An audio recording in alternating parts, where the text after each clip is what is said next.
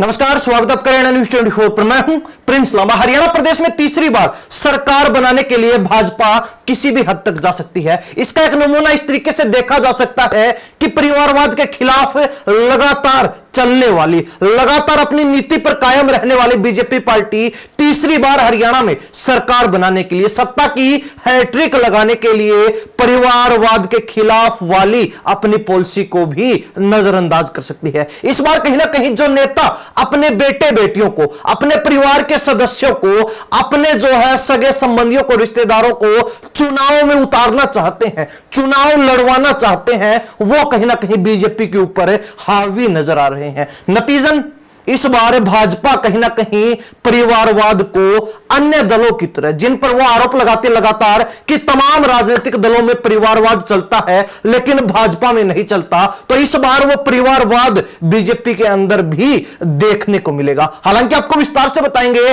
कि भाजपा के अंदर वो कौन कौन से नेता है, जो अपने बेटे बेटियों को, अपने सगे संबंधियों को चुनावी मैदान में उतारना चाहते हैं और बीजेपी की टिकट पर चुनाव लड़वाना चाहते हैं। सबसे पहला नाम है इस लिस्ट में, जो पिछले दस सालों से लगातार बना हुआ है, अहिरवाल के किंग, अहिरवाल की राजनीति के राजा, अहिरवाल क्षेत्र के राजा राव इंद्रजीत सिंह, जो कि 2014 से ही लगातार प्रयासरत हैं कि बीजेपी की टिकट पर अपनी बेटी को चुनाव लड़वा सके। हालाँकि पिछले दो योजनाओं में उन्होंने रेवाड़ी से अपनी बेटी आरती राव के लिए टिकट के प्रयास किए, लेकिन दोनों ही बार अपनी बेटी को टिकट दिलवाने में, बीजेपी के टिकट पर चुनाव लड़वाने में नाकाम रहे, असफल रहे। लेकिन कहीं ना कहीं राव इंद्रजीत सिंह ने फिर भी हार नहीं मानी और बीजेपी पर दबाव बनाया। और उस दबाव के बाद राविंद्रजीत सिंह के इतना हाथ ज़रूर लगा कि अहिरवाल क्षेत्र की कई सीटों पर उन्होंने अपने हिसाब से अपने करीबी लोगों को, अपने करीबी जो है कार्यकर्ताओं को, नेताओं को टिकट दिलवाकर चुनाव में उतार दिया।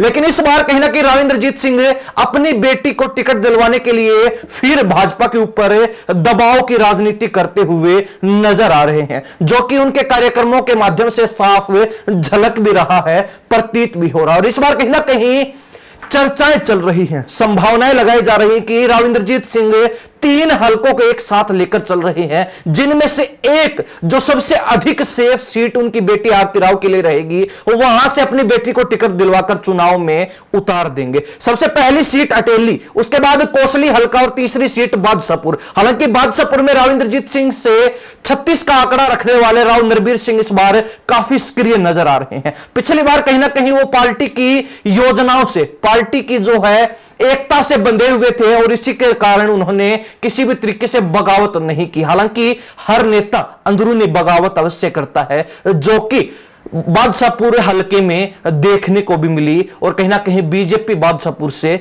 चुनाव नहीं जीत पाई थी 2019 के अंदर। लेकिन इस बार बादशाहपुर सीट राव इंद्रजीत सिंह के लिए सेफ़ सीट नहीं रहने वाली, क्योंकि वहाँ पर उनसे 36 का आंकड़ा रखने वाले राव नरबीर सिंह सक्रिय नज़र आ रहे हैं। तो ऐसे में दो ऑप्शन राव इंद्रजीत सिंह के पास बचते हैं, पहला अटेली हल्का और दूसरी कोसली की सीट। अब दोनों हल्कों में से कहाँ पर वो अपनी बेटी के लिए सेफ़ पिच तैयार कर पाएँगे यह उन पर निर्भर करता है। लेकिन इतना ज़रूर है कि जिस तरीके से राव इंद्रजीत सिंह ने भाजपा पर दबाव बनाया है, उस हिसाब से यह कहना गलत नहीं होगा कि इस बार बीजेपी राव इंद्रजीत सिंह की बेटी को टिकट देने से कुरहेज नहीं करने वाले। राव इंद्रजीत सिंह की बेटी को भी अपने टिकट पर चुनाव लड़वाने को तैयार दिख रही है, मूड में नज़र आ रही है। और कहीं ना कहीं अहिरवाल क्षेत्र की जब बात आती है तो इस बार बीजेपी तीसरी बार सरकार बनाने के लिए काफ़ी मेहनत कर रही है। और ऐसे में जोड़ तोड़ की राजनीति की जब बात आएगी तो अहिरवाल क्षेत्र में राव इंद्रजीत सिंह के कहे अनुसार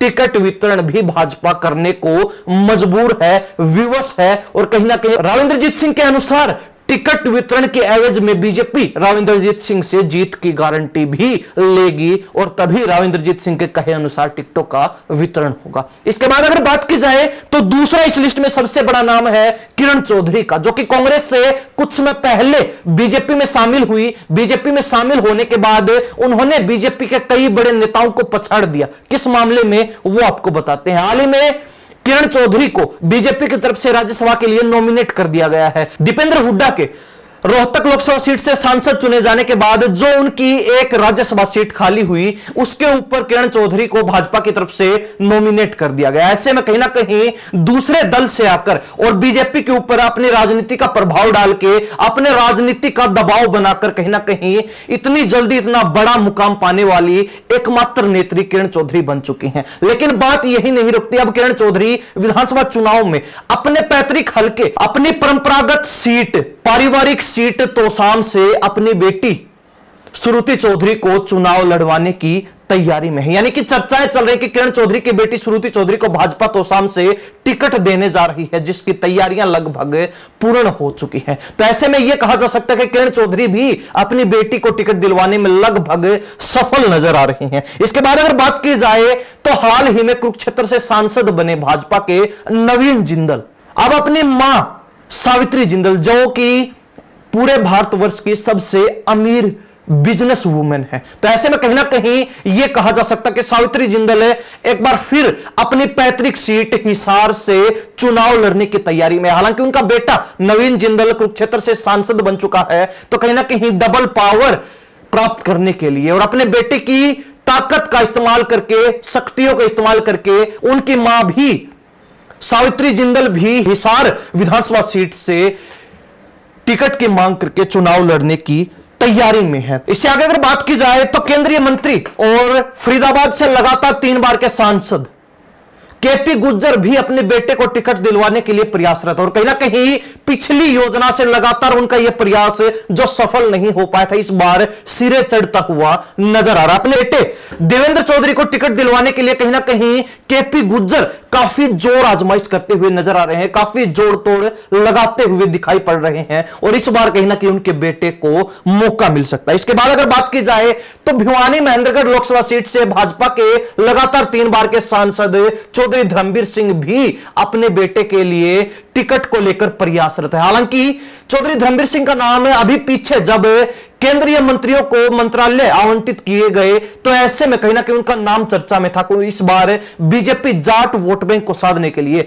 हरियाणा प्रदेश में विधानसभा चुनाव से पहले जाटों को अपनी तरफ़ लुभाने के लिए चौधरी धर्मवीर सिंह को केंद्रीय मंत्री बना सकती है। लेकिन कहीं ना कहीं वो बात सिरे नहीं चढ़ पाई और चौधरी धर्मवीर सिंह लगातार तीन बार जीत दर्ज करने के बाद भी केंद्रीय मंत्री नहीं बन पाए। तो ऐसे में कहीं ना कहीं उनको संतुष्ट करने के लिए और जाट वोट बैंक को भी अपनी तरफ़ आकर्षित करने के लिए अब चौधरी धर्मवीर सिंह के बेटे मोहित चौधरी को बीजेपी विधानसभा चुनाव में उतार सकते हैं। हालाँकि चौधरी धर्मवीर सिंह भी लगातार प्रयासरत रहे हैं कि उनके बेटे को टिकट मिले और बीजेपी के टिकट पर चुनाव लड़वाकर अपने बेटे को राजनीतिक तौर पर स्थापित कर सके। लेकिन कहीं ना कहीं इस बार उनकी यह कामना भी पूर्ण हो सकती है, अगर बीजेपी की मेहरबानी रहती है, अगर भाजपा के अंदर परिवारवाद चलता है। इसके बाद अगर बात की जाए तो हरियाणा प्रदेश में फ़िलहाल बीजेपी के सताए हुए, बीजेपी के मारे हुए सबसे बड़े नेता कुलदीप बिश्नोई की। हालाँकि कुलदीप बिश्नोई को कई मौकों पर भाजपा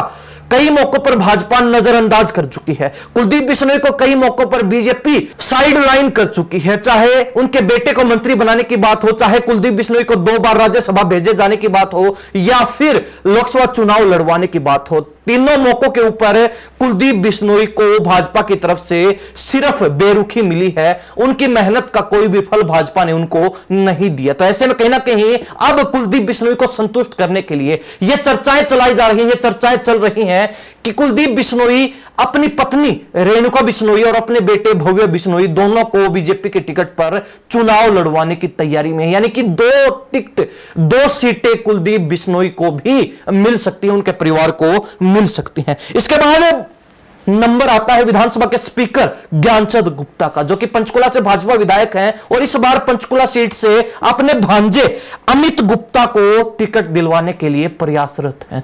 तो ऐसे में यह कहा जा सकता है कि बीजेपी के अंदर कहीं ना कहीं जो नेता पिछले लंबे समय से दबा हुआ महसूस कर रहे थे, अपने बेटे बेटियों को राजनीतिक तौर पर स्थापित नहीं कर पा रहे थे, इस बार उनको एक सुनहरा मौका मिल चुका है। इस बार अपने बेटे बेटियों को, सगे संबंधियों को राजनीतिक तौर पर स्थापित करने का एक मौका उनको मिल चुका है, क्योंकि बीजेपी भी इस बार विधानसभा चुनाव से ठीक पहले हरियाणा प्रदेश में फंसी हुई नज़र आ रही है। तो ऐसे में तमाम वो नेता जो अपने बेटे बेटियों को चुनाव लड़वाना चाहते हैं, पिछले एक योजना से या फिर दो योजनाओं से लगातार बीजेपी की टिकट दिलवाकर चुनाव लड़वाने के लिए प्रयासरत नज़र आए, लेकिन बीजेपी की जो परिवारवाद विरोधी योजना रही है, वो अक्सर इन नेताओं के आड़े आती रही, वो अक्सर इन नेताओं के सपनों पर पानी फेरती रही। लेकिन इस बार भाजपा फंस चुकी है और इन नेताओं को भाजपा की इसी मजबूरी का फ़ायदा मिल सकता है। अगर वास्तव में ही परिवारवाद से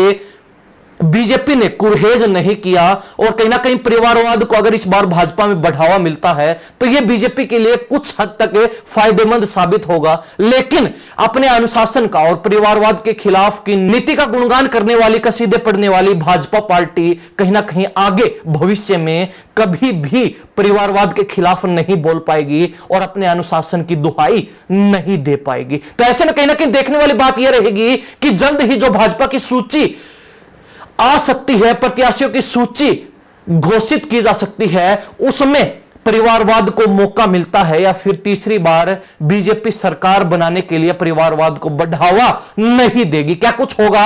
अपनी राय इस बारे में ज़रूर कमेंट के माध्यम से लिख दीजिए। इन सब बातों के साथ मैं प्रिंस लांबा हरियाणा न्यूज़ 24 नमस्कार, जय हिंद।